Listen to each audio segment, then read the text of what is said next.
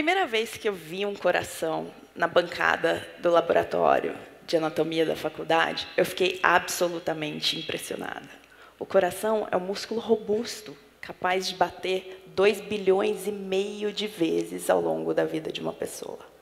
Desde o começo da faculdade, uma das primeiras coisas que a gente aprende é que um coração normal, ele bate de 60 a 100 vezes por minuto. E que qualquer alteração nisso é sinal de que alguma coisa vai errada. Um coração que bate mais rápido, por exemplo, pode ser decorrência de um sangramento, de uma infecção, ou até mesmo da gente estar abrindo o TEDx São Paulo. Felizmente, hoje, a gente tem várias formas de investigar um coração que bate diferente do normal. Só que a medicina persiste ainda com um problema. E esse problema é o fato da gente tratar as pessoas de acordo com o que funciona para a maioria delas, não de acordo com aquilo que funciona para cada uma, com o que seria ideal para cada uma. Só que raramente a gente pensa no que, que é essa maioria. Eu vou explicar mais ou menos o que, que é essa maioria. A gente, médico, quando vai tratar um paciente, a gente se baseia numa série de critérios chamados de medicina baseada em evidência. São eles que mostram para a gente, por exemplo, quais são os estudos científicos que mais têm peso para definir o que, que funciona para a maioria. Só que raramente a gente se pergunta o que, que é essa maioria, né? E eu fui atrás disso.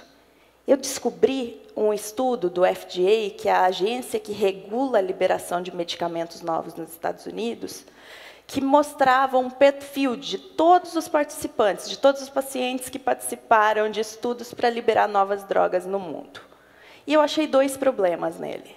Um é que só 1% da população participa desses estudos. E o segundo é que o que a gente chama de maioria, na verdade, corresponde a homens brancos, relativamente jovens, com menos de, 50, de 65 anos, e americanos. Ou seja, o que a gente chama de maioria não reflete a diversidade da nossa população. A gente está aqui em 2018 falando no TEDx do futuro da saúde. Só que a medicina ela ainda é mais primitiva do que a gente gosta de admitir. A gente fala tanto em medicina de precisão, mas o que a gente faz hoje em dia é medicina de imprecisão. Ok, eu vim trazer algumas verdades para vocês, mas eu não tenho só notícias ruins. Como o Casé falou, eu sou médica intensivista. Para quem não sabe, o intensivista é o médico da UTI, aquele médico especializado em doentes graves ou que tem grandes chances de se tornar grave. Sim, tem gente que escolhe isso para a própria vida. Mas, além disso, eu sou uma pessoa absolutamente apaixonada pela união entre tecnologia e saúde. E eu acredito que isso tem o potencial para ajudar tanto médicos como pacientes a entregar uma saúde melhor para as pessoas. E como que isso acontece? Eu vou explicar para vocês, mas para explicar isso, a gente precisa entender o que está acontecendo no mundo atualmente. E a gente vive um momento único na história da humanidade. Por quê? Porque com os dispositivos digitais que a gente tem, os computadores, os tablets, os smartphones, os relógios inteligentes e com as redes sociais, a gente nunca gerou tanta informação no mundo. Para vocês terem uma ideia, 90% de toda a informação que existe hoje no mundo, de todos os dados que existem, foram criados nos últimos dois anos. Em saúde, isso é ainda mais pronunciado. A gente vive uma era que, querendo ou não, a gente nunca está offline, a gente está gerando dados o tempo inteiro. Para vocês conseguirem imaginar a magnitude disso, uma pessoa saudável ao longo da vida dela, se a gente juntar toda a informação de saúde que ela gera, isso é o equivalente a 300 milhões de livros cheios de conteúdo em saúde. Se a gente pega toda essa informação e coloca dentro de tablets e empilha esses tablets, a pilha que a gente consegue, ela tem um tamanho que é um terço da distância da Terra até a Lua. Só que isso é quanto a gente consegue analisar de toda essa informação hoje em dia com as ferramentas que a gente possui. É meio por cento. Agora imagina o tanto de informação que a gente não está perdendo nesses 99,5% que a gente está deixando de lado. São informações absolutamente válidas, que poderiam mostrar para a gente, por exemplo, como melhorar a qualidade de vida das pessoas, reduzir mortes evitáveis, prever epidemias e, por que não, até curar doenças. Só que aqui a gente chega num segundo desafio, Quem que vai analisar essa quantidade de dados todas? É o médico?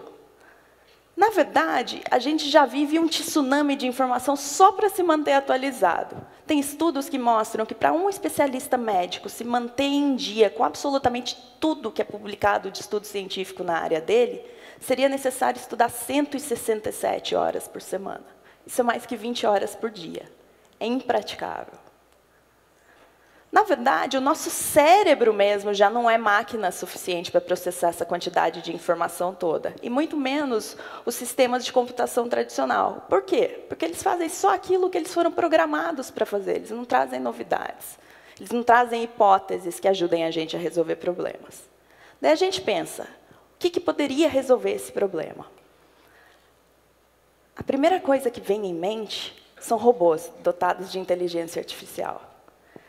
Mas a segunda coisa que vem em mente é isso aqui. São robôs dizimando populações inteiras que foram inocentes o suficiente para confiar neles.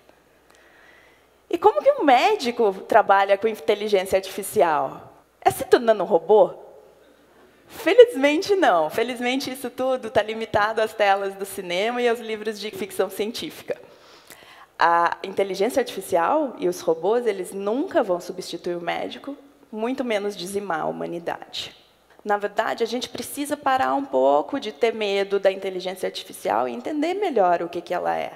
A inteligência artificial nada mais é que uma série de ferramentas que permitem que a nossa inteligência seja aumentada. Ela é a terceira era da computação.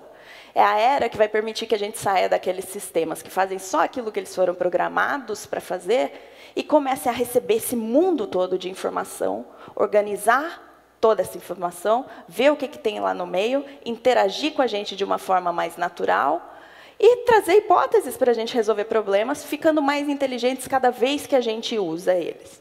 Em saúde, isso tem um potencial gigante, porque isso pode ajudar a gente a reduzir burocracia, fazer diagnósticos mais precisos e trazer tratamentos que tenham mais chance realmente de ajudar as pessoas. E foi um pouco disso que me motivou. Se até 2015 eu trabalhava de 80 a 100 horas em três UTIs de diferentes hospitais aqui de São Paulo, hoje em dia eu divido meu tempo fazendo isso, mas também trabalhando numa grande empresa de tecnologia, desenvolvendo projetos que ajudem a gente a explorar como a inteligência artificial pode ajudar médicos e pacientes a entregarem uma saúde melhor para as pessoas. E eu vou dar alguns exemplos do que já é possível para vocês. Eu começo pela oncologia, a especialidade que trata o câncer. A oncologia é uma das especialidades em que é mais difícil se manter atualizado. Cerca de 75 mil artigos são publicados por ano que o oncologista tem que saber, com medicações novas, novos regimes de tratamento. Hoje em dia, já é possível que médicos oncologistas, no momento da consulta, cruzem os dados do paciente dele com toda a literatura científica disponível isso traga de forma ranqueada os tratamentos que têm mais chance de dar certo para cada um desses pacientes, ao invés do que funciona para a maioria das pessoas. Isso tem sido utilizado desde hospitais de ponta nos Estados Unidos até em países como a Índia. A Índia ela tem mil oncologistas para uma população de 1,4 bilhões de pacientes. Muitos desses pacientes, ao ter o diagnóstico, nem tinham a chance de conseguir chegar num centro de tratamento de oncologia. Muitos, infelizmente, acabavam morrendo antes disso. Então, o que a inteligência artificial tem feito é permitido que médicos mais generalistas consigam adiantar esse processo e começar o tratamento desses pacientes, para que eles tenham mais esperança e consigam ter o tempo, inclusive, de chegar num oncologista que vá dar continuidade ao tratamento deles. No sequenciamento genético, já é possível utilizar a inteligência artificial também. A gente consegue, hoje em dia, usar esse tipo de ferramenta para ler, por exemplo, o resultado do sequenciamento genético de uma pessoa com câncer.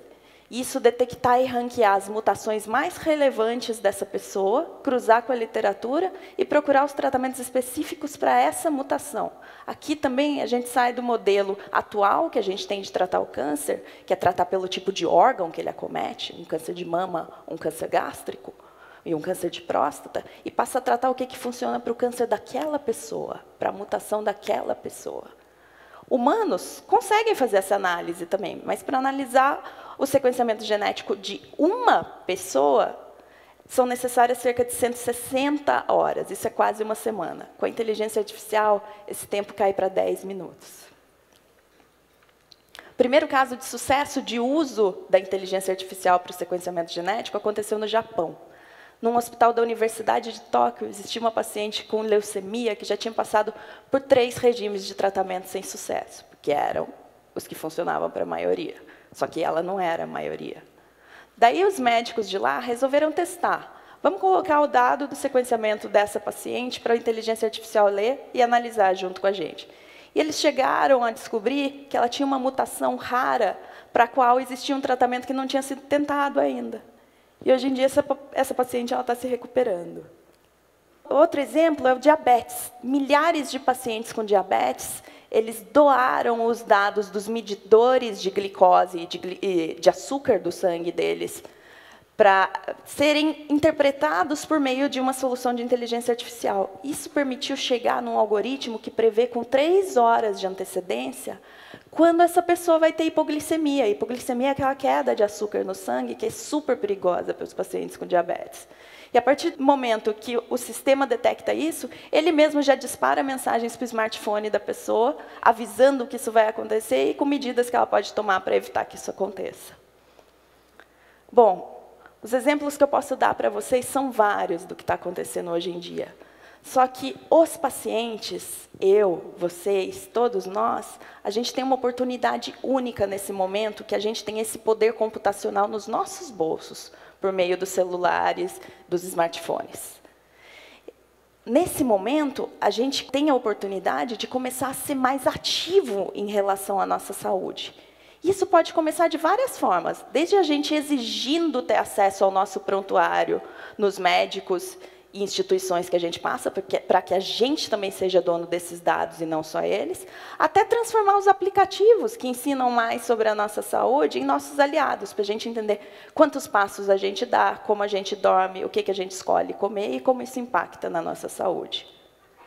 A ideia aqui é que, a partir do momento que a gente é dono dos nossos dados, a gente pode decidir o que fazer com eles. É mais ou menos o que a gente faz no Waze em que a gente compartilha os dados do nosso trajeto e, em contrapartida, a gente recebe quanto tempo que a gente vai ter no trânsito, quais obstáculos que a gente vai ter no caminho, como evitá-los e como ter um caminho melhor para a gente se locomover. Se a gente faz isso na saúde, compartilhando os nossos dados, a gente começa a entender que tipo de tratamentos e medidas funcionam para cada pessoa, em cada bairro, em cada cidade, em cada país e no mundo, na verdade. Uma das coisas mais humanas que existem quando a gente pensa é doar órgãos para uma pessoa em necessidade. Eu acredito no futuro em que a gente não vai só doar órgãos, mas a gente vai ser possível doar dados também. Porque daí, ao invés de ajudar uma pessoa por vez, a gente consegue ajudar várias. E a gente consegue garantir que cada vez mais corações consigam bater aqueles dois bilhões e meio de vezes que eles nasceram para bater. Muito obrigada.